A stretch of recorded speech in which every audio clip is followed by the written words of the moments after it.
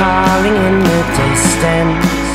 So I packed my things and ran Far away from all the trouble. I had with my two hands. Alone we traveled on.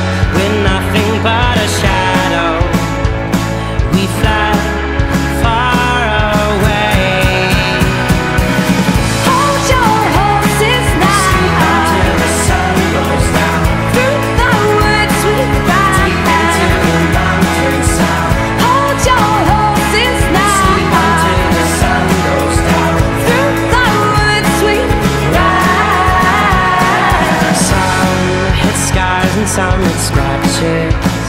It made me wonder about their past. And as I looked around, I began to notice that we were rest.